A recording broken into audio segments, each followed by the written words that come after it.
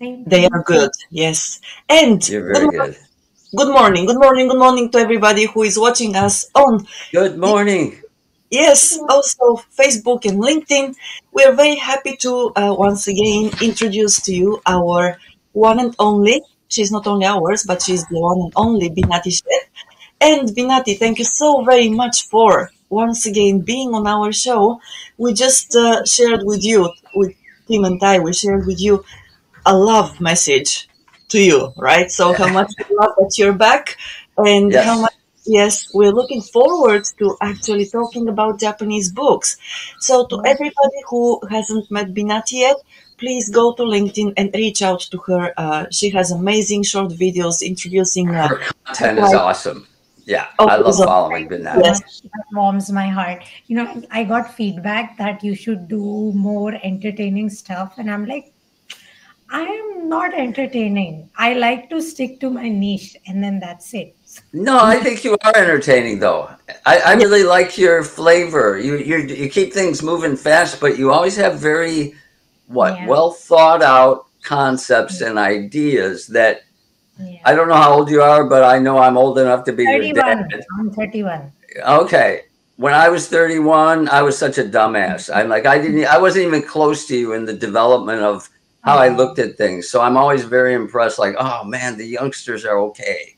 It makes me I, feel I good. absolutely agree with you in how, like, even the newer generation that's coming after us, they're so sorted.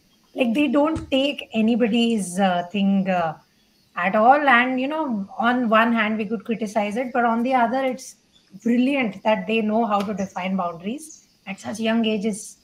Yeah. So, Yeah, yeah. Makes me hopeful. So thank you for that. You're like a kind of a ray of sunshine. In, in when I read your stuff, I always feel good. So oh, thank you. yes, yeah, and right. time Yes. for our sponsors. We got to get that out of the way, but we love them, so we want to do this. we want to do this. It's not an obligation. It always feels like um, a word of thank you, really, from the heart. So thanks a lot once again. A big shout out to our first sponsor, Kanachu.com, and also James uh, Howell. So thank you very much, James. Thank you very much, Kanachu, for being our sponsors. For you, uh, for watching us and you're hearing uh, their name for the first time, Kanachu offers bilingual services uh, to individuals who want to buy property, who want to sell real estate in Tokyo and Yokohama. So the company also does uh, property management and investment property. So if you want to work with them, reach out to James at james at kanachu.com because uh, James is there to help you realize your project. You can speak with him in either Japanese or in English, and you, yes, you should be sure that uh, your needs will be met with a lot of care. Yes, They're the best. Yeah. All So- right. And without, so that's it, right? Without further ado, we got the sponsors. And I think we're ready for Binati to uh, educate and entertain us. Edutain us. I, educate I- us first. Yes. I don't know about entertain. Okay. Because when it comes to books, the number of tangents I go on is incredible. So, comment section, be feel free to call me out whenever you're like, please come to the topic, lady, that type of thing. And of course, my hosts are used to it, but y'all's might not be. So, uh, I, I think based on like a little bit of uh, conversation that we had going before the live link, Tim, what does what do we learn from books about the culture, so to speak? Mm. So I particularly gravitated, if I were to talk about just my experience as a reader, I particularly gravitated towards Japanese books because of, uh, largely speaking, six things. The first thing that stuck out to me was the books were very, very minimalistic and they're very, very direct. So if you get your hand on one of these books, you can read them in one sitting. Like the directness of it all is not, uh, I suppose, something that gets in the way of cognition. It doesn't lead to a lot of confusion and it leaves so much room for your brain to short circuit later on. when you think about what you just read. So, one thing that I really appreciated about Japanese literature back in the day when I was encountering it for the first time was how minimalist it is and how direct it is. And uh, I, I think it contributed to the number of books I picked up. You know what I mean? Like if you are starting with 600 pages that take you two, three days or a week to finish, you're like, I have to read it. Let me go back. The, barrier to entry is a bit more comprehensive, and I didn't have that happen for Japanese literature, which was Mhm. great because you are getting such wonderful stories. Sometimes stories that don't have a conventional storytelling structure, but you still understand what is being talked about 100%. So I Mm. think that was brilliant. I like the direct quote that you made because, you know, those of us who work with J- Japanese culture, there's also an indirectness built, baked into the culture to keep the harmony. Although the, even that's a myth because if you're in an inner circle with Japanese family and friends, they're extremely direct, okay? But outside of that context, they're very indirect.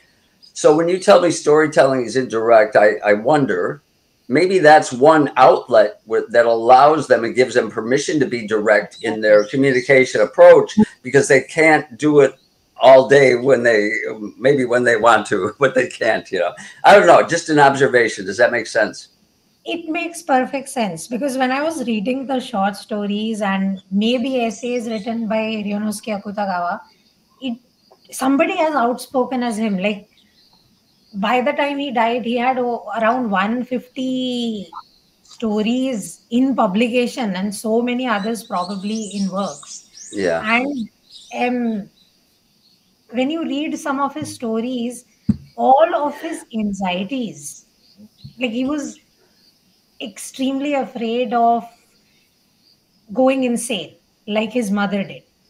And Right. that kind of Yeah. drove him to do what he did with his life, specifically how he ended it. But I didn't see a lot of conversation about that coming from others about him. Maybe that could be other Japanese people being polite about a legend, but Mhm. people do gossip about the other authors. So my, my guess is if Akutagawa was going around doing some Mhm. of these things, other people would have written something about it that uh, batshit crazy is behaving like batshit crazy, something of that sort. But Yeah. we don't see that, meaning everything about his day to day life probably was very, very normal before it turned into what it did. So his writing is where you can see all of these anxieties kind of reflect themselves. And one of the main reasons why uh, Yukio Mishima is the author that kind of sucked me into this particular phenomenon, where uh, you read the story and then you go like a gossipy auntie and look up the life of the author.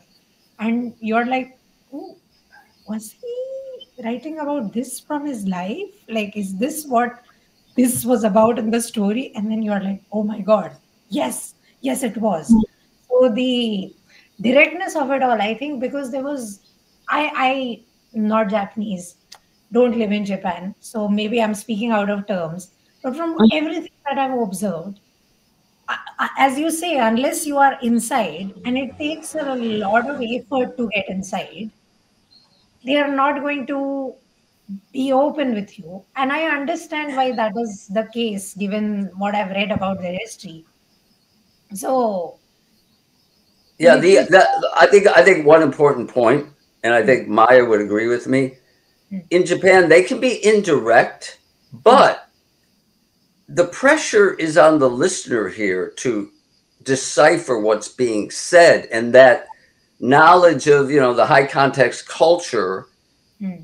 often gives you a pretty good hint of what was said, what was intended, what the Mm. intended. Not always. Sometimes there's leeway, Hmm. but so I, how would I say? it? In my country, for example, when communication occurs, if the listener didn't understand, then it's the sender's fault. Hmm. In Japan, I think there's a bigger burden on the listener Yeah. to Yes. correctly interpret what's being said because of the language structure and the communication patterns, right? Of course. So that's part of the equation. So while it's ambiguous, if uh, taking the words at face value, based on what wasn't said, it's not that ambiguous. There's that too going on, Hmm. Yeah. if that makes sense, right? Yeah. And I somehow don't see that in the books. I, I maybe this is Which is uh, interesting. Yeah, that's interesting. Interesting. I don't see it in the books. Like uh, one of the modern books that I've loved is uh, Chitoran, Breast and Eggs by Mieko Kawakami. And she has made commentary on the fact that in vitro fertilization for single women is not an option in Japan. And uh, women have to resort to unconventional techniques Mhm. to have a baby when they're not dating somebody or married to somebody. And uh, I know a few people in that situation. Yes. I, I, I, you know, I looked at looked it up because I could not believe it. Japan is supposed to be a developed country. I just assumed that IVF was available because we have IVF available in India with our Right. conservative culture and everything for single women as well. And people will look at you with like eyes, but government won't stop you from making that choice. So it was very shocking to read that book. And she does a lot of subtle things with the Osaka and the Tokyo dialect. The sister Right.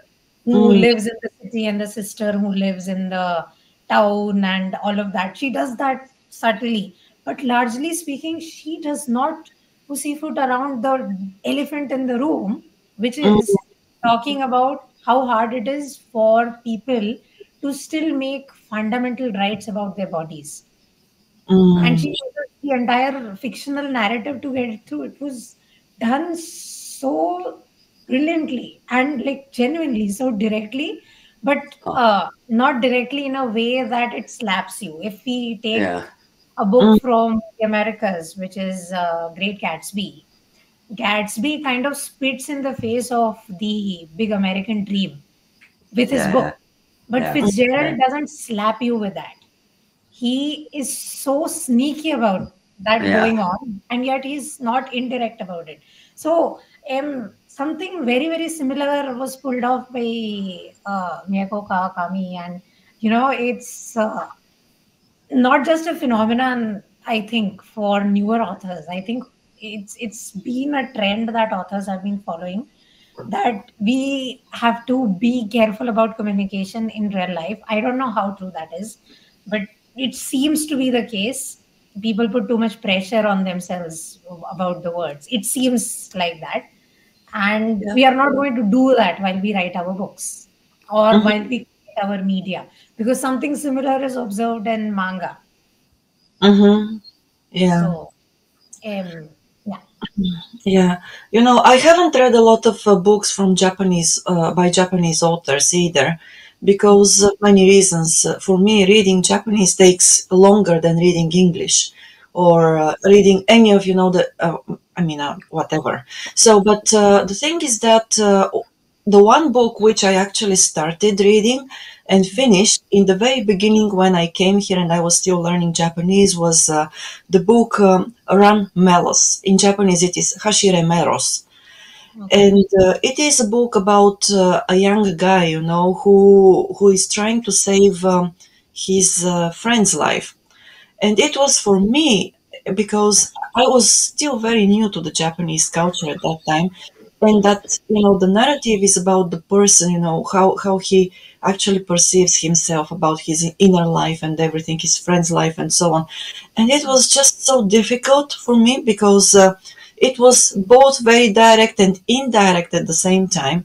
I had difficulty once again understanding who, you know, the subject of the sentences of this or the subject the protagonist was first of all, because of the Japanese grammar, of course, you know, and Yes. I mean, back home in my native language, we always know who is the doer, right? We have all the grammatical codes, you know, and um, uh, conjugations and so on to, to, to, to let you know. Uh, and as Tim said, there is no mistake there. But with the Japanese, it was so unbelievably difficult for me. And I was Mm. like, how can, you know, how can I ever live in this country? Because I don't understand the people. are saying, you know.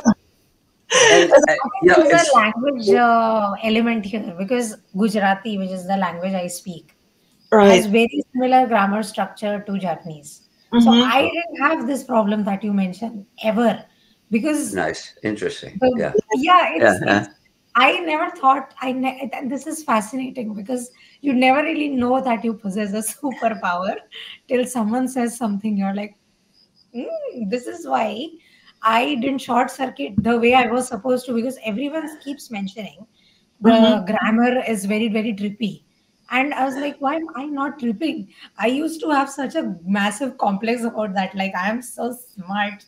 Out it's because of the language Right. that I have as my lingua franca. Which Oh, that's so funny.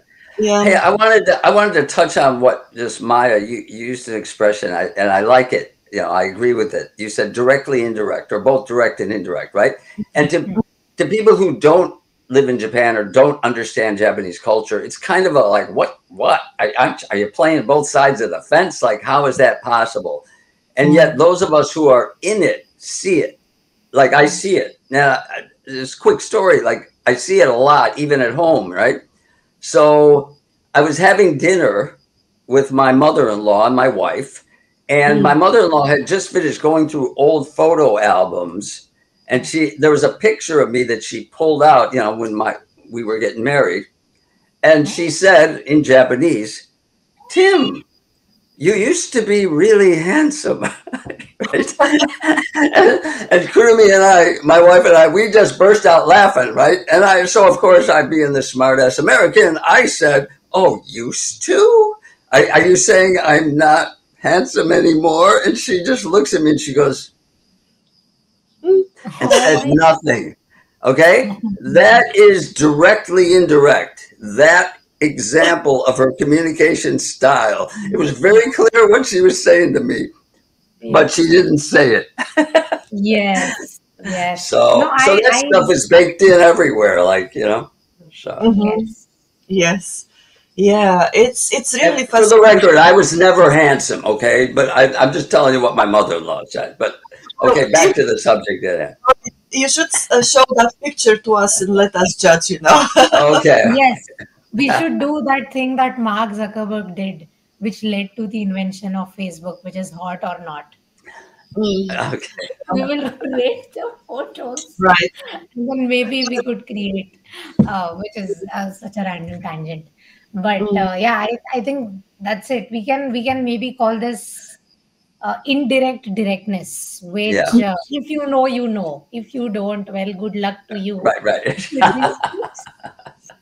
because I, I think that's it, right? Uh, Pachinko, a book fr- from Korea, it's getting Yes. very popular because Netflix has made a show now, and the show is a, apparently very well made. I haven't seen it yet, but I've read Pachinko the book books, and for many people, that is exactly what is happening. They're like, why are they taking stuff so so so so uh, the way that they are because I will end up spoiling the book and I don't want to do that so I'm being very careful. Uh, it's it's pre- it's precisely what we experience with Japanese books as well. It is indirectly direct.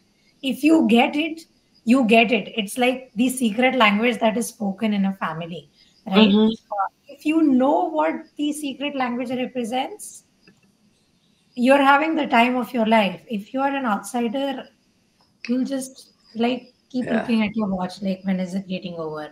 When is it getting over? That type of thing. So Yeah. mm, that, that that that interesting. Like this is why I love talking to both of you. Every single time I think I have enough perspectives on a topic, and then you are like, no, here, take a few more. Yes. Yeah. Yeah. You know what is what you mentioned about uh, direct directness. Uh, so there is there is actually uh, an author who is Japanese, uh, but he grew up in the uh, in the United Kingdom, and so um, several years ago he was actually he got I think the the Nobel Prize for Literature. That's Kazuo Ishiguro. I was like, you're probably talking about Ishiguro, but I was waiting. I am, yes. And I love his books, especially, uh, you know, a couple of them. One of them, which really, really just uh, haunted me for months after I read it is Never Let Me Go. Oh And my uh, yeah, agree. it's just, and once again, because of this indirect, you know, um, so he, he describes the life of those people in the book, right? And how they gradually leave the community, and you never got the direct explanation of what that happens until the very end. And I mean, he grew up in the United Kingdom, but his Japanese genes and maybe the family, you know, his uh, Japanese parents actually got him to to the point where he was so he's so skillful actually of, of uh, um what's that conveying all that you know the the it's not the tension but that desperation of you Mm. know and also acceptance of what is happening I to think to characters if I were to reword it slightly, to hmm show multiple emotions with one sentence. hmm I think this is what Japanese authors do very well. Uh, you can get whatever emotion you are picking up out of one sentence, hmm depending on when you are reading the book. And uh, I, I, I think uh, the concept, Economy of thought. It's like uh, like yeah a lot of is communicated in very few words. And I mean, it's, I guess it's not surprising because they got the haiku tradition where they limit the you know the number of syllables. And So I like that's kind of baked in as well, don't you think? That hmm Yeah, I think brevity is a skill. It is it- you can be descriptive. It's very easy to be descriptive. You just yeah let your mouth and your brain connect and just disassociate. You can be descriptive. It's very yeah easy to be a communicator when you're descriptive. hmm Uh, but it is so hard to do that when you are limited. This is why something I tell my authors when they are facing blocks. It depends on what block they are facing. But I force them to put constraints on themselves. And somehow the block goes away. Because when you allow your brain to roam free, it roams free. It's not a bad thing all the time. But right brevity, sometimes yeah right Sometimes when you are trying to convey something very, very specific, and I think this is where the rigorous Japanese way of life helps them, right? oh It's uh, Maya and I have talked about this because we were talking about the idea that once you create constraints, people get more creative. yeah, And and Japan, Japanese culture tends to have a lot of constraints. I And they agree. are so brilliant at coming up with these novel. I'm just talking about like in my world where I work, manufacturing. They come up with these super simple, elegant solutions, high impact, low cost, and they kept it within this tight Mm, box of constraints. That Yes, requires immense creativity. But I, I kind of I went off absolutely track. Yeah. mm, I, I think yeah with a lot of these things, uh, constraint based creativity specifically, I think it takes time to mature. and because of the life life cycle of products and uh, service markets and all of this many times these solutions don't really get time to mature which is why we don't really see their brilliance play out on the Yeah. big world stage but if you really look at it yeah there's a reason why japanese industries are unshakable in certain Mhm. Even though chinese counterfeit products are coming in to offer replacements, people are like, yeah, we cannot do away with this because Mhm. if this falters, the rest of my thing also falters. So yeah um, I think the, the, the that has to be the culture that right uh, from what I speculate again don't know. Uh, another thing I think you'll find this interesting. One of this one of the six points that I found uh, is about plot and process. Right, books are equally plot as well as process uh, oriented, and in non-Japanese books, you will see the question why answered in the book, whereas in Mhm. Japanese books, you will see the question how answered. Like you know, Yeah, that makes sense. you have read Process oriented. and why is the author trying to say something or why is it this thing that the author is saying this is what you will get from non-japanese books and then Russian literature and Japanese literature is like, no, we will answer the how. Uh, Oh, so Yeah. oh, interesting. Russian Russian literature too. Yeah, I from Oh. what I, I have read so far. I mean, I'm still a noob there. I've not Yeah. gone enough into it because I have to still rely on translators to read in Russian. I cannot just Right. read it. Yeah. But in the workplace, the focus is on the how more than the why, based on hmm. my experience in a Japanese workplace. Yeah, so the method the is same, like the same, the same in books as well. They are focused Yeah. on how. Like take Keigo. Higashino's Devotion of Suspect X, which is a very incredible. I think you might, you both might enjoy reading this book. Um, the murder happens. You know who's done the murder. Galileo. This is a series. Detective Galileo. Uh, he investigates things like that. Uh, he also knows who's done the murder but he doesn't know how the murder happened and the Ah. entire book is him figuring out how did this person get murdered? Because it is so mind boggling it is so obvious. And yet you're like you start doubting yourself right? Because yeah, it can't be that simple. It can't be that complicated. It's it's such a brilliant way of uh, using the how.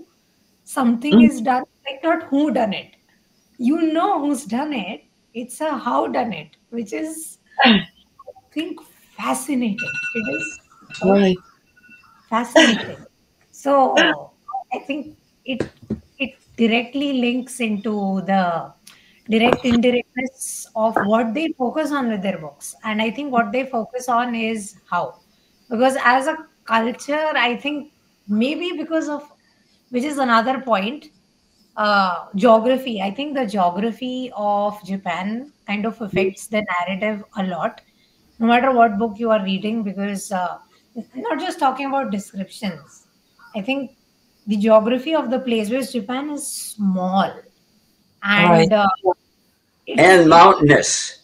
So there's a, there were a lot of be- separate little lot of localization. Yeah, living, right? Yes. And uh, there's so many disasters happening because they're literally Yeah.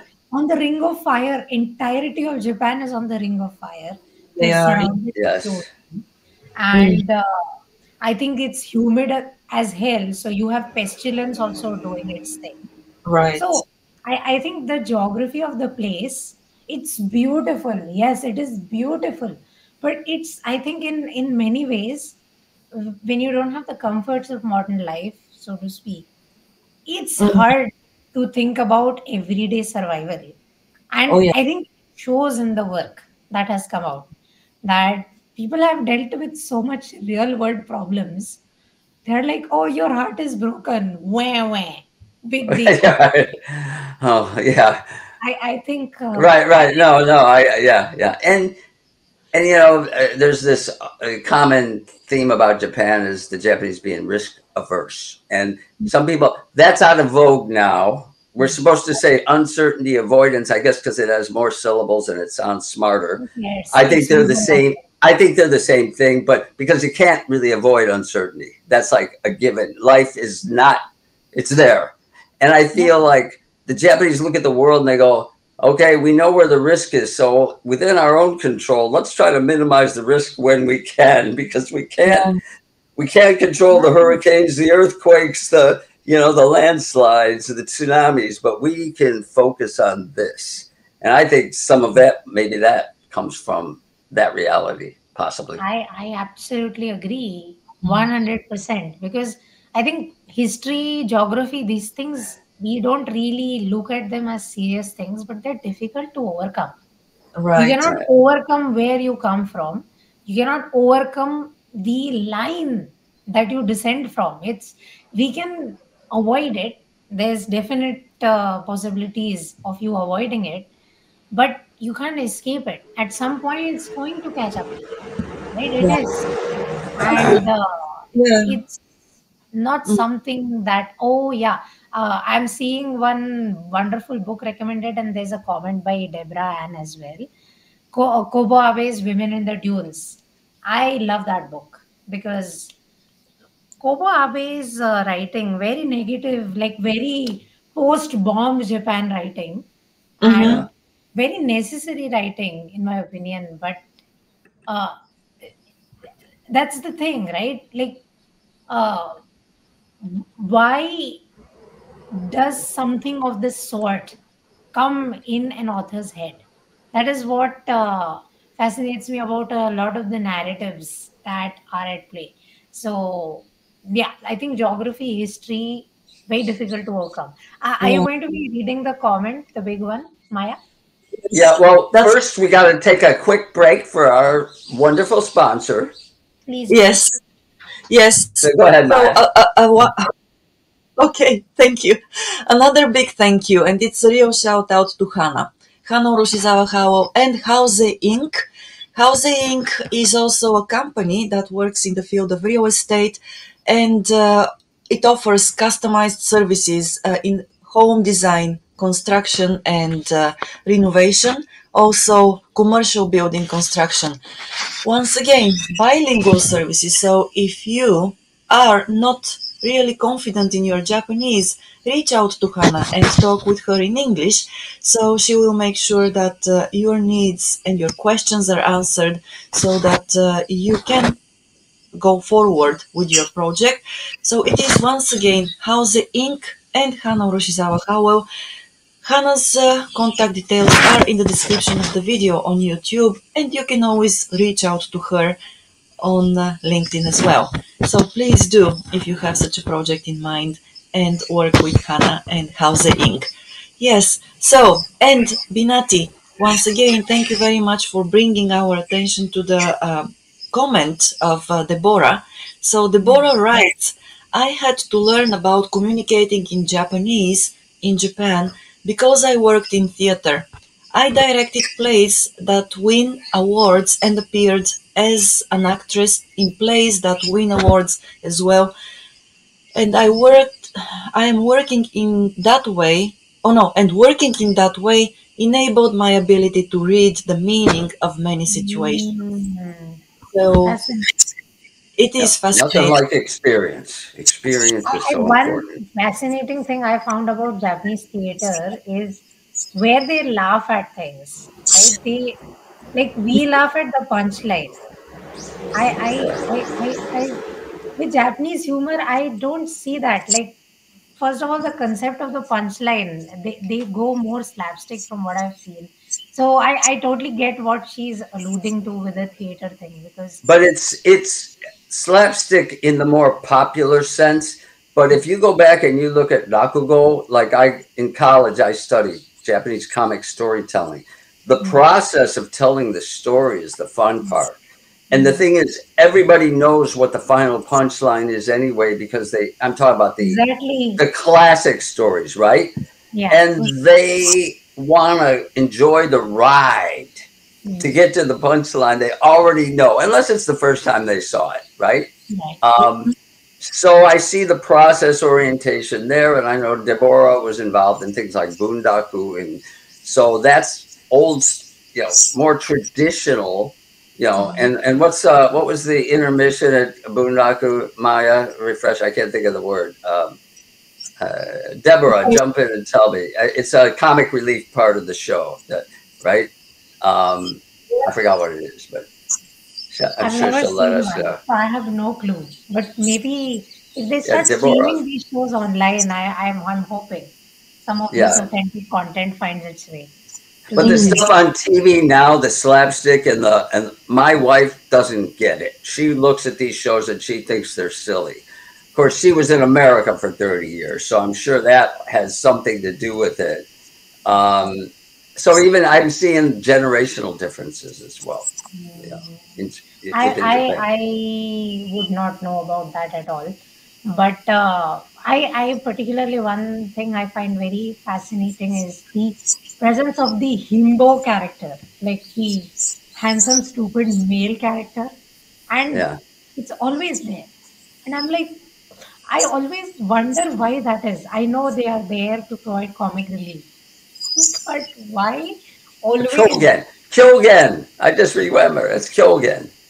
Okay. Shogen is the name of the yeah. It was a comic relief in Boondock. Okay. Uh, not Boondock. Uh, what, what is it? No, I'm sorry. No, no, Okay, no. Shogun. Okay, go ahead. Sorry about that. Oh, please, it's fine. I the more you get to learn because this is localization knowledge.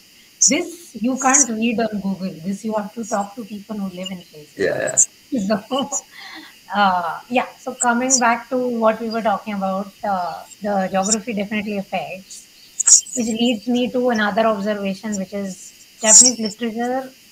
Not so much right now, but at least the one that the the, the older kind used to be reactive. It always used to respond to something, whether Mm-hmm. it was fear of technology or fear of uh, uh, not fear uh, anxiety around uh, massive number of changes that happened be it uh, change changes with the Meiji era or you go way way way way way way back to the first novel ever written in human history Genji no Monogatari and Yeah. even even Genji. that it it is responding to something it is Yeah. responding to i think uh, the many many shades of love that people experience and yet everybody's unhappy so uh, I, I i find that to be fascinating in older japanese literature. Now it's way way diverse but the older Yeah. literature i think it was very responsive. And i i do feel that sometimes they are responding to uh, in some instances chinese literature in another instances western literature. And uh, i don't know why. Was this envy? Was this uh, uh, wanting to emulate what you have been inspired by i don't know why but it does seem very responsive to me uh, Mm. reactive to me so Yeah. what are your Um, takes on it Yeah, I was years ago when I was in college. I was studying rakugo. I uh, study. I was trying to study the roots of rakugo, right? And I found this book. It was an anthology, and the chapter in it was by a academic named Barbara Ruch, and it was Japan, Japan in the Muromachi Age, and then the subtitle was "The Making of a National Literature." Okay, mm-hmm. and her thesis was these traveling jongleurs, these storytellers, many of them Buddhist priests, were mm-hmm. spreading the word to the illiterate masses in Japan mm-hmm. because until then the elite were uh, practitioners of Buddhism, but now they were spreading it, right? And they were telling these these vo- the vocal arts. She called it the cinemization of Japanese literature, so people could access these stories, right? And during the, the Sengoku Jidai, the Muromachi period, they're traveling all over spreading the word. And according to Barbara Ruch, all the themes, the general themes that were created in that period, fed into all the literature in Japan that ensued. Now, again, modern literature, I, I agree makes with so you much sense then it's getting more diverse. So if you ever get a chance, just Japan in the Muromachi age, Barbara Ruch, right? And uh, you know, the making of a national literature. If you Google it, you can find it's it's not that long, but it was very informative to me. In I will definitely check it out because when you were speaking of this, no, I was reminded of something that kind of links to India as well. Rabindranath Tagore is a very, very popular uh, writer from India, and uh, he's Bengali, and his work has been uh, internationally acknowledged. And he refused. He refused to write in any other language but his own. So Yasunari Kawabu- uh, Kawabata, he used to write in English because uh, not all the time, but I think based on what you mentioned, I, I think maybe he was taught something, and that is what he used to stick to. And then Yeah.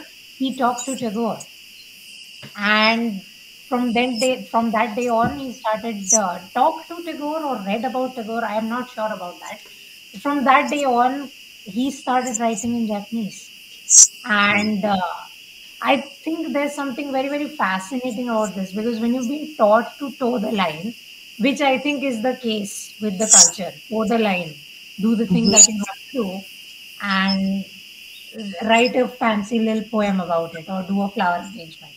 something of the sort, and then go to sleep. Uh, when you have been taught that, and then you see somebody do something very, very against that, you're like, oh, he did the thing that we are not supposed to do, and nothing happened. In fact, he won a Nobel Prize. That could be me.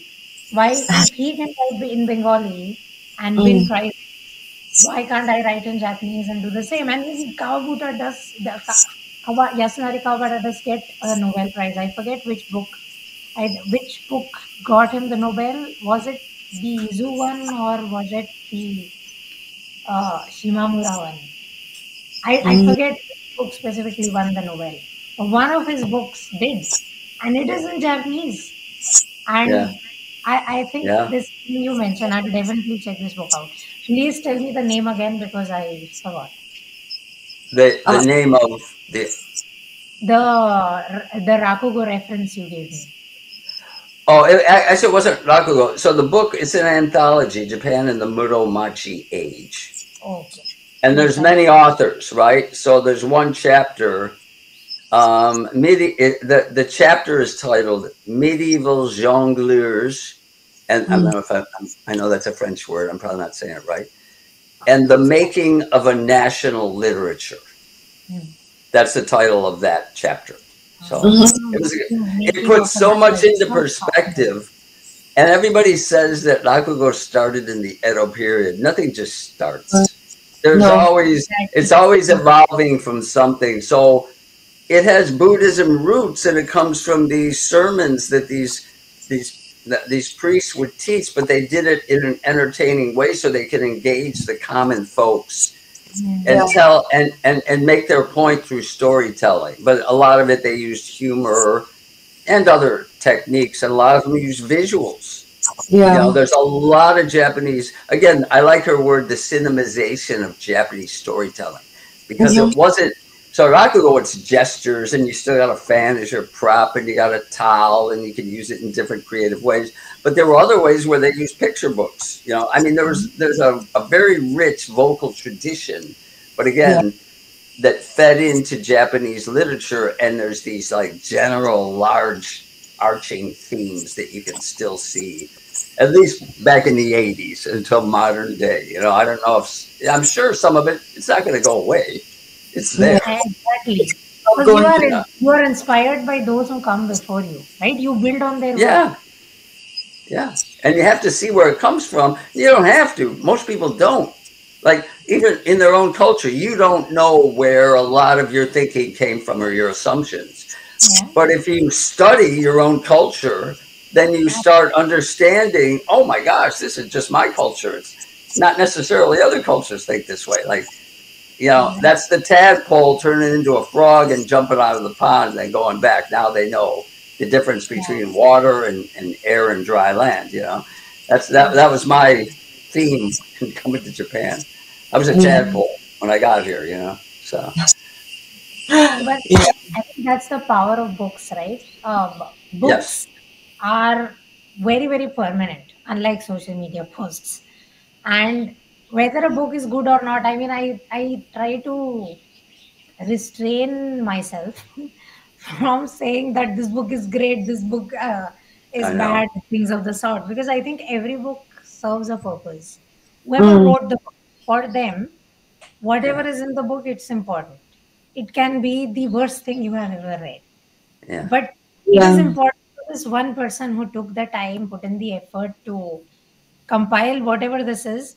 And if you are a proactive reader, you are going to find the value in that book. I mean, it's going to be hard for certain books, but if you if you really, really, really put in the effort, there's no such thing as bad books. I, I like to Yeah. live with that delusional thought. Oh, yeah. And it always depends on the you know the, the stage of life the reader is at and also their environment, what they're looking for. Because Yeah. at some point I can also say that uh, you know when I was a teenager and try, I tried to read some books, I just couldn't continue. And then 20 years later, when I tried to read them, I finished them, you know, uh, almost in 24 hours, right? Each one. So Yeah. it's also about your preparedness, how ready you are to read that particular book. And it's Yeah. again experience and what you're looking for. So uh, as you say, you know, we, it's very difficult to say that a book a book is great or a book is bad be- because of that. It also depends on the reader's condition at the time of reading. Yeah. And and the more general theme that we've talked about before is the power of storytelling. Okay. Yeah. And so as in college, I had to read these dry academic anthropology books, which Mhm. talk about people almost like they're specimens, Mm. and i- i- rather than human beings. But the storytelling that Mm. conveys these same concepts are much more powerful because people, first of all, they're engaged, they relate to them, and it sticks. If it's wrapped in a in a well told story, you learn something deeply about the culture, and I think literature is kind of a Mm. shortcut. It It- It's a is. short. It's a better option than those dry anthropology books that I hate, and that was my Yeah. field. so Mm. No, I, I, I think uh, we can we and we should talk about her. We should talk about uh, Murasaki Shikibu because uh, very good example Genji no Monogatari and Shikibu Nikki, which is uh, Tales of Genji, the fictional account, and Mhm. Diary of Lady Murasaki, which is like a journal. A lot Right. of it is lost, but the one that still survives to this date is like because we Murasaki Shikibu is a pseudonym. Mhm. She was Right. born to the Fujiwara family. That's Right. not her name. right, The Right. author is writing because I, I I do believe that I I don't know how true this is, but while I was learning the Japanese alphabet like years ago, this is how what I was taught. Right, hiragana uh, from Wikipedia of all places. Hiragana is curly because everybody uses hiragana. Mhm. Katakana is angular because only men use katakana because katakana employs foreign words. Women don't have to interact with foreigners. oh, So old school. you don't need to Yeah. And uh, because kanji was repurposed uh, Chinese characters, uh, women Yeah. were generally not allowed to use it. And I was like, what? Mm. Alphabet means sexism. This was very Yeah. revolutionary to me. So. I, I I think the fact that uh, the first like the first piece of writing that exists ever comes from this priestess called Enheduanna. And basically she she invokes Inanna, who is a goddess, and she's like, Inanna, curse all of them bitches. That's basically the first known writing known to Okay. Then you have something like uh, Genji no Monogatari, which is the first known novel format uh, that we know of so far. Mhm. right. It is a female writer using the female gaze to tell us the story of uh, Hikaru Genji in like 54 chapters uh, to showcase shades of love, to showcase what is now very, very popular on LinkedIn as Mono no Aware. Everybody has Oh. written a post on Mono no Aware. I'm like, oh, stop it, guys. I know. Stop I it know. with I know. bastardizing Japanese philosophy. Yeah. I, I agree. I agree. I agree. uh, Yeah, mono, no. the fact that without having knowledge of plot and structure and characterization and all of this uh, and if we do critically analyze Genji no Monogatari with all the literature knowledge we have now, it seems like the book doesn't have structure, but it does have so much structure and it says Hmm. so much without being very, very direct about it because I think it has like 800 waka poems within the narrative. To have 800 poems, one plot where this prince who was born to a concubine, therefore making him slightly illegitimate, uh, goes around uh, finding the perfect woman for him who resembles his mother. This is such such layered onion to have as a plot. Then he Yeah. finds a 10 year old, which he kidnaps and turns into his wife, who he repeatedly cheats on. And Oh, everybody's miserable. this is this is the plot, right? This is roughly the plot, and you're like, if you just listen to that, it's like, why is this lady gushing about this book? However, when you sit down and read the story, it makes Mhm. so much sense why this book is revered and why this book led to like an entire subgenre of literature being created, which I would argue is the most popular genre of literature in existence, the novel. The The novel. novel. And, Mhm. and, The and novel. she did that. She did that by being observant. Because what we do know is she was in the court Mhm. and uh, she was put she she used to write poetry. Uh, the the kind that i think japanese noble women were expected to write back in the day. And uh, instead of just doing that she was observing things and she was cataloging them. What remains of her journal is how we know this. And then Mhm. instead of uh, doing what everybody else was probably doing which is gossiping about it and going about their business she layered it into a fictional story and that's how Right. we know how things are during the Hein uh, Heian is that is, is it is that how it's The pronounced? He- Heian. Heian. Okay, yes. Heian Jidai. Yeah. The the because we are specifically told about how Hikaru smells amazing again and Yeah. again and again, and Right. Yeah. like, why is this mentioned so many times? Why is the author mentioning the smell of one character again and again and again and again? It tells you something, right? It tells you people during that time probably didn't use perfume. Very small Yeah, thing yeah, yeah. Interesting. but yeah, yeah. the novel gives you so many insights of this sort and uh, the different forms of love that are on display and i Oh, i don't i mean i mean hikaru is what we youngins like to call a fuck boy right? And uh, very crude way of putting it but that was normalized. Having concubines as royalty was normalized and it didn't really have uh, stigma associated to it. But Yeah. he was miserable. You assume that you you soak into the finer parts of life uh, all the time like you do because he he does do drugs and um, he has all the perfume and all the ladies and he is smart he writes very good poetry he's also strong he has all he checks all the boxes of the conventional stereotypical hero he should be happy but he isn't. He has Mm. everything that most of us assume under material comforts to be happiness. He has Mm. it all. He's not happy because I think she, the author is making a commentary on uh, the, I suppose, attachment detachment philosophy that we see in Buddhism. All right. We always have attachment. Mm. And no matter how hard we try, unless we get detachment, there's no happiness. When you are obsessively looking for love, which is what Hikaru does, till he Mm. finds Murasaki, not Murasaki the author, Murasaki the 10 year old girl that he kidnaps and turns into his wife. No Mm. problem.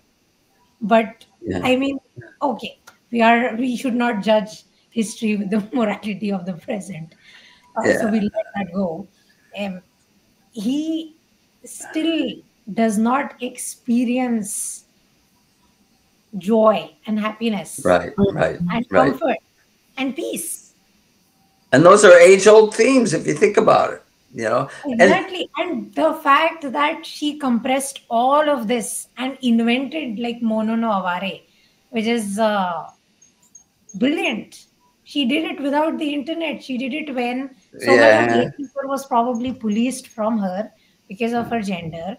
And yeah, it's it's done so so well that you have some rando in India obsessing over yeah. Oh, And I, you, you mentioned you mentioned gender, and be, earlier you mentioned observant, and it was funny when you mentioned that a light bulb went on because I was thinking, Hmm. is it a coincidence that the first novel ever was written by a woman? And I think you can make an argument.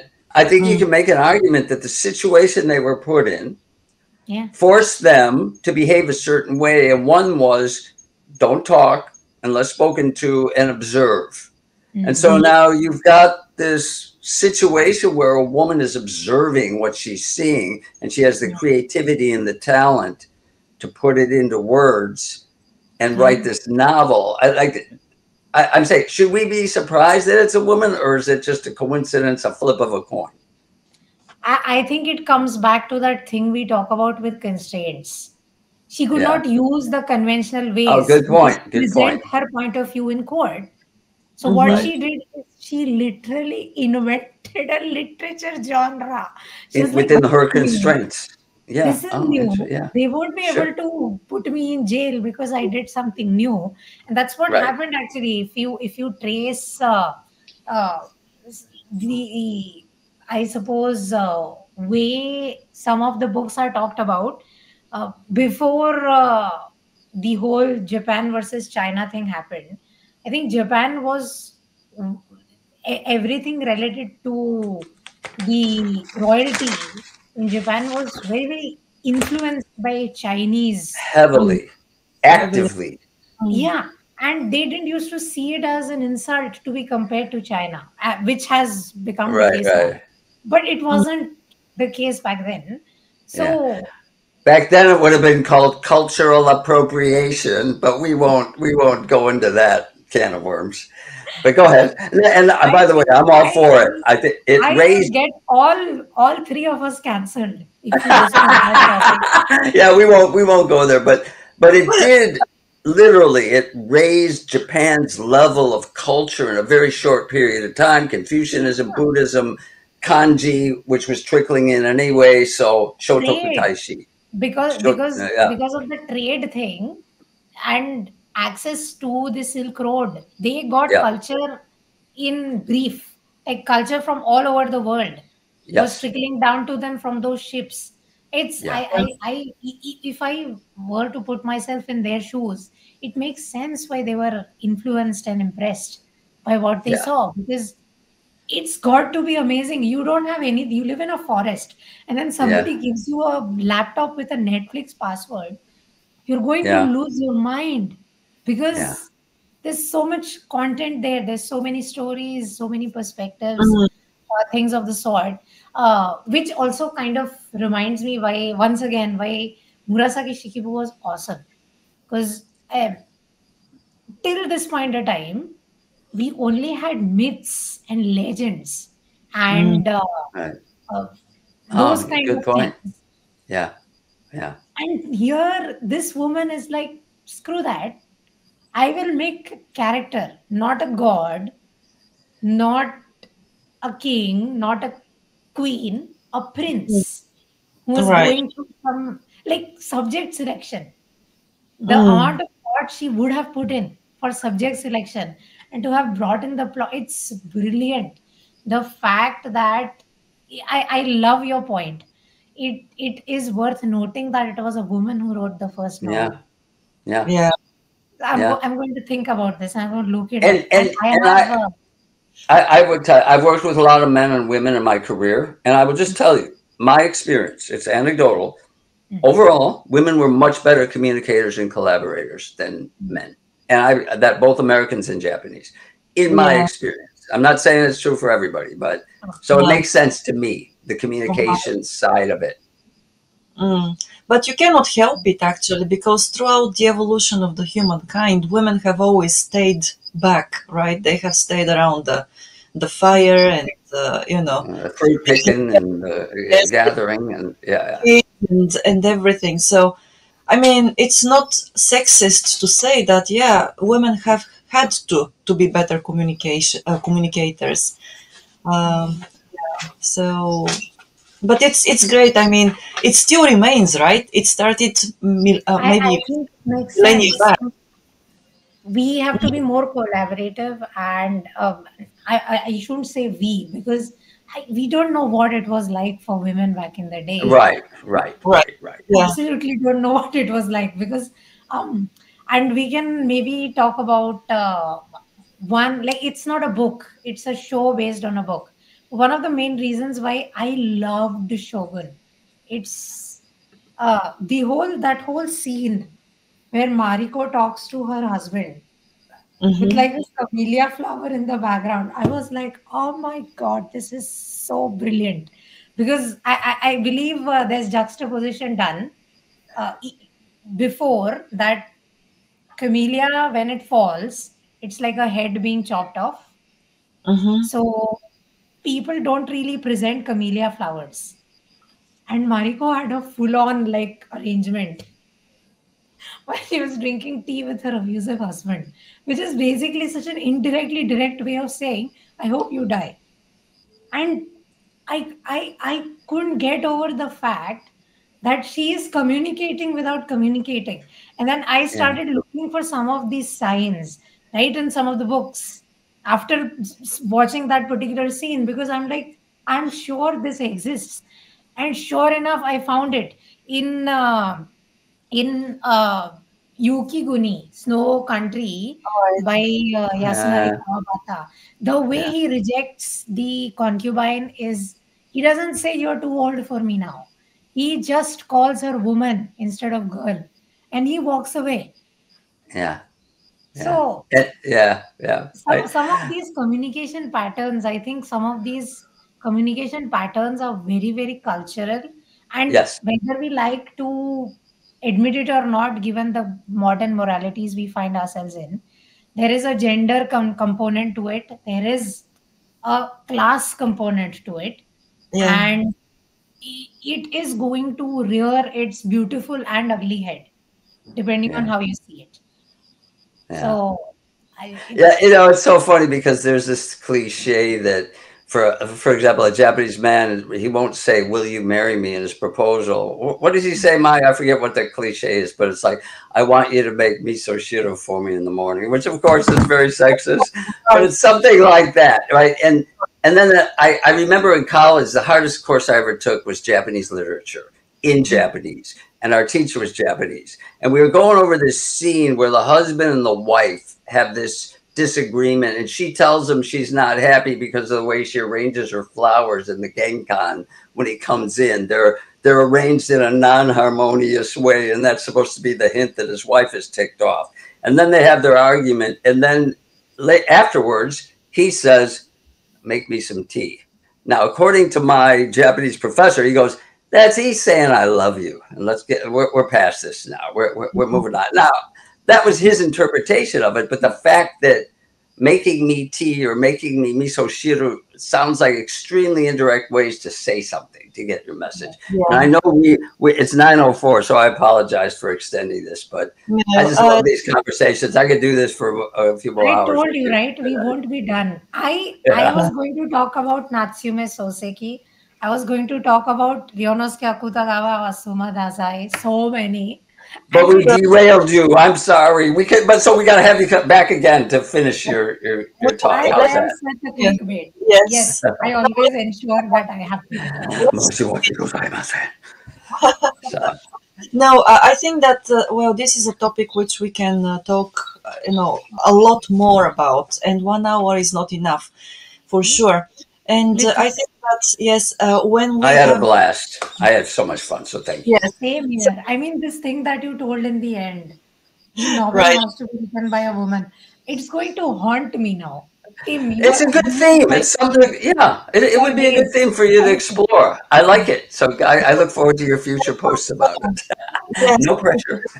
But Tim, Thank you. before we finish, yes, I wanted to say about you know that uh, story, uh, you know, which uh, your Japanese teacher interpreted, and you have always talked about uh, Kurumi-san, how she does things about you, uh, for you, right?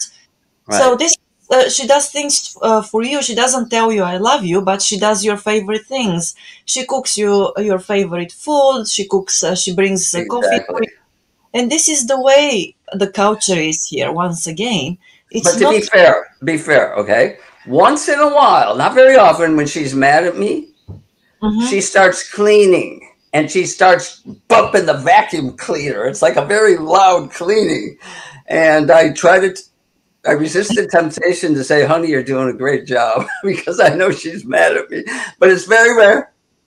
But that, that's the other way of telling her displeasure. She doesn't di- mess with the flower arrangement. She goes Right. for the vacuum, bumping it around. But I mean, You everybody. a single woman Yeah. Cuts. But I- I will say this, I'm not- I'm not supposed to say this because we're in Japan, but I am uh, extremely lucky to have my wife. I, I can't believe she keeps me around. So I'm very happy that she does. I think life would be very, very boring if there's no disagreement. No, you have to. People, Yeah. people who say we never fight, first of all, that means one side is just keeping it all in and doing Yeah. come on, right? You have to, you know, fight. I don't like the word fight, but there's disagreements, right? And there's, Yeah. and you work it out. That's how you keep going. You work it out. Yes. right? Yeah. But one thing, another thing that I really love uh, here is that uh, people know that there are disagreements, and when uh, so when you have a disagreement with somebody, the interpretation always goes in the way that you trust that person enough to disagree with them and to show your disagreement. So because you don't show and your to love them anyway, or to you know, have them as your friend anyway. And Right. Yes. So you don't show your disagreement and your indignation to somebody whom you don't trust, uh, you know, to be able to, to talk with you and to talk it Yeah. through, right? So, but anyway, we're, yes, this is, I mean, fascinating, yes, Too much we're, way, fun. We're having too much fun. That's the problem. we are, yes. But problem.